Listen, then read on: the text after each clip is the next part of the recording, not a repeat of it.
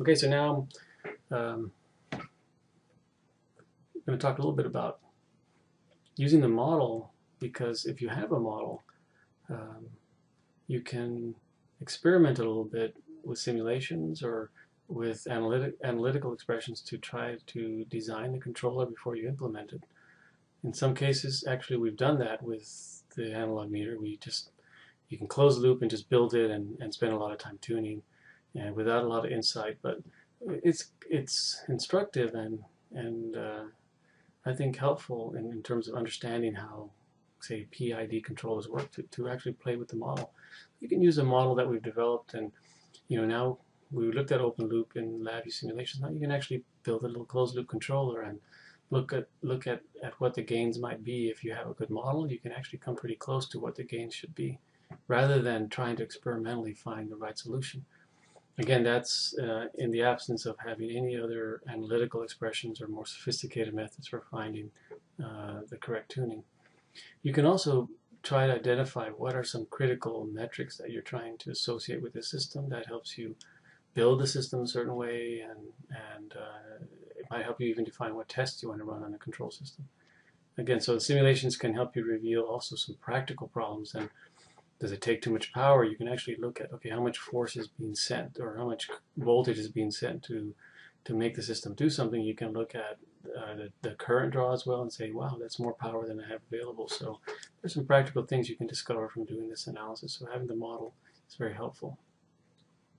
So um, as part of this next pre-lab, this is the pre-lab 3 for this lab, um, I'm going to want you to take that uh, LabVIEW model that you have, that open loop model. And um, if you think about it, we have this analog meter. What we're going to be doing is building everything else in LabVIEW, right? We have the sensor and vision, and we're going to actually use the LabVIEW control and simulation module to, to build this, this controller in different ways. We're really not going to worry about disturbances too much. Um, but uh, so we're really going to just have voltage coming out of the controller and driving that analog meter. And this is, you think about it, actually what's in here is the myDAQ. Everything's in, in, in LabVIEW and in the myDAQ in this case, in our current implementation. And so what you can do with the simulation is build this little architecture and play around with it in simulation. So let me show you uh, some ways of doing that. So as I mentioned in, in the control and simulation module, if you look under the menu item for uh, controllers, you'll find um, a PID controller. It's already built for you. You can build it yourself, and this actually shows you if you op open up the uh, the two different types, as I mentioned, the um, and I'm going to show this to you, but in in the um, in the menu for the PID controller and in lab in the current LabVIEW uh, implementation, you you can choose academic versus parallel, and you can see these are exactly the kind of PID controllers that I just showed you. So these have three different parameters that you have to choose. Um, they actually also have on the derivative control a little first order filter here, right? And um, uh, that helps with the derivative. Sometimes when you take the derivative of, of a signal, if it has noise, uh, the uh, it, will it'll cause a lot of amplified noise, right? You're taking the derivative of noise, so it makes it larger, and it's problematic. So a lot of times when you digitally Remember, all this is happening digitally, both simulation and when you implement it in myDAQ. If, if, if you take the derivative, but if you also pass it through, through a low-pass filter by, the, by using this transfer function, you can choose then this. So in fact, there's actually more than three parameters. You actually also have to choose this, but this one actually ends up being hidden. I think you can go in there and play with it, but this is just a uh, um, like a first order time constant. We're not going to worry too much about that. Um, if you want to go in there and play with it, you can. So here's the how the parallel is implemented. You can see it's got the, the error comes in and then there's a proportional path, an integral path. You, you multiply by the integral gain, take the integral, and then and then come to the adder here. And then the derivative, also you take the error, take the derivative of the error, and there's a little filter in there. And then add those all up, and then that's your output action. And here's the other type. So here's your academic version, parallel version. So I'm going to show you here. Here's a little, if you see this is a little snippet. I just pulled out just the part that shows, remember this is exactly the same model. Here's our plant, right? And we're going to specify the voltage in here. and we're measuring that and look here's our feedback path so the direct feedback we're assuming that we have a perfect data measurement right? And come back here and look we go right into a summer and here's our error. So here's our desired angle as before. Instead of passing it just through here and look I'm passing to around it here here's our feed forward using our static gain right? Here's our static gain. Forming the error and then putting it into my PID and I'm going to show you in a second how you can make sure that you've got these terminal connections so you can put your KP, KI, KD control gains on here. You sum those two up and that makes your total voltage. Note I put again the limiter here because you want to make sure that that voltage is within the confines of your system uh, as practically implemented uh, uh, in the lab. Okay, and then there's the graphing. Okay, so let's take a look at uh, at that in LabVIEW.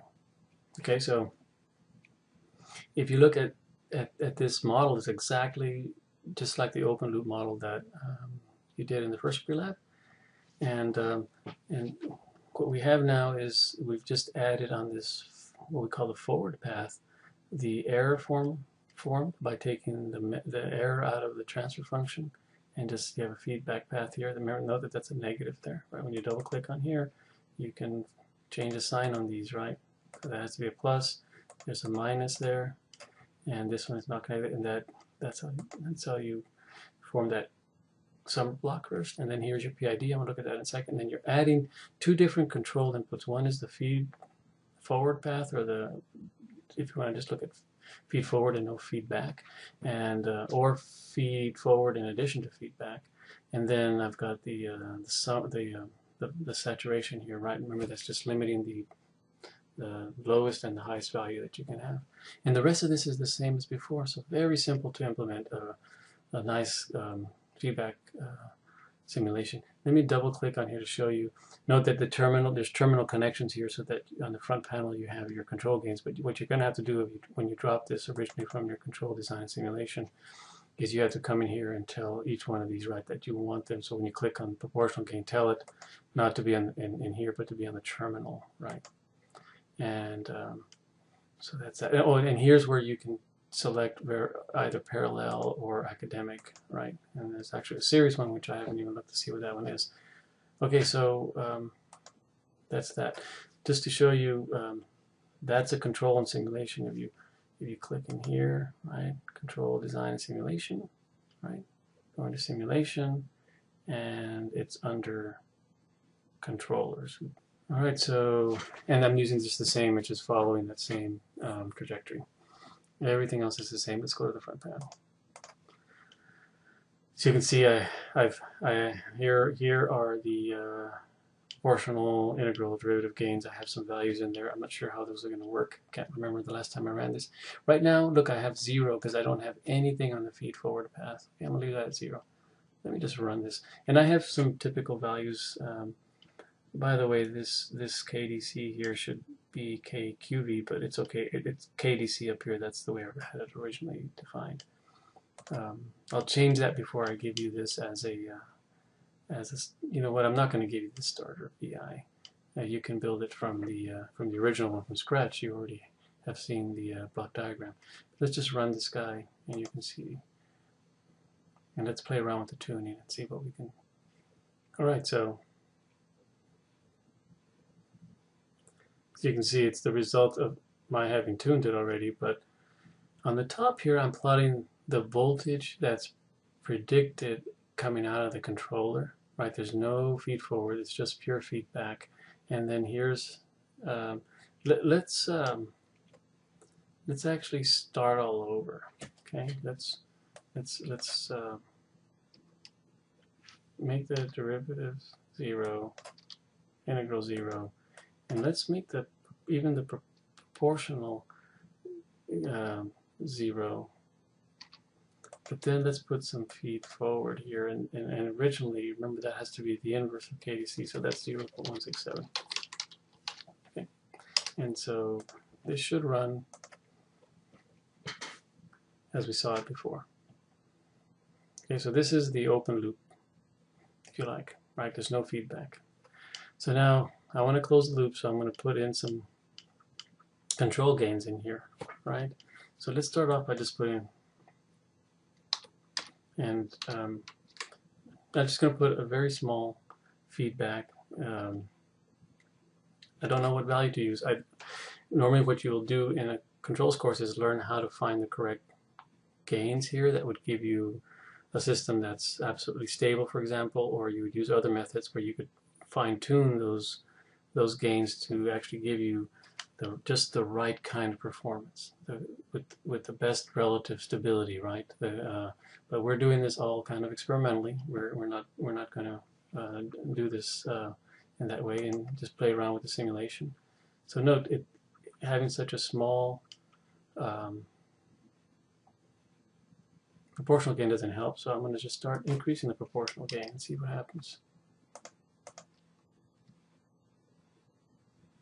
Alright, so note even the, you start seeing a little bit of a change in the input because now that voltage is looking at the error and it's trying to reduce that error. So note you always have to look at this. Can your system perform this kind of so your job now is to is to is, is to start introducing now one of the things that that uh, for example let's say now you didn't know your static gain very well. And I'm going to change this to 2. All right, so that's different from the actual system. So, so now, no, see, so now you have some error. So now what you could do is say, hey, I want my feedback controller to try to start compensating for that. So you see how what it's doing is it's reduced, it's reduced the error, but boy, it's oscillating a lot. So what you can do is bring in little bit of integral control back off on the proportional thing. And the integral might help you. Again, look, it's brought down the steady state error and it's still oscillating way too much. So one of the things that derivative gain can help you with is that it can add more damping to the system. And so, see, you can Again, play around with these control gains. Keep an eye. Wow, look at look at what this system is saying. You, in order to get the system to behave this way. And by the way, you could keep trying to do better. Can't remember before I had tuned it pretty nicely, but uh, but you can try to maybe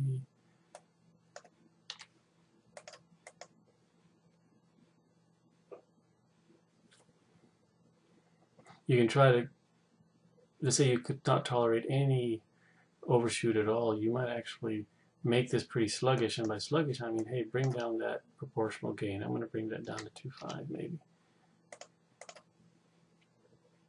That way it doesn't jump up so much. Okay? And then maybe a little bit more.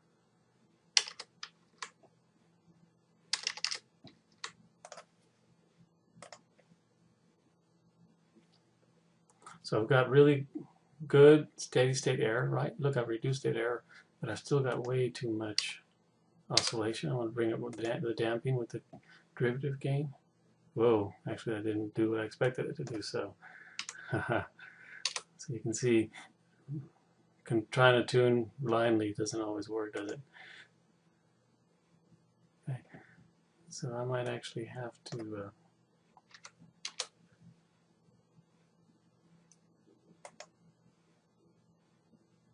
There you go. Probably have to work a little bit more on on on the. Uh, Me bring this down to nine.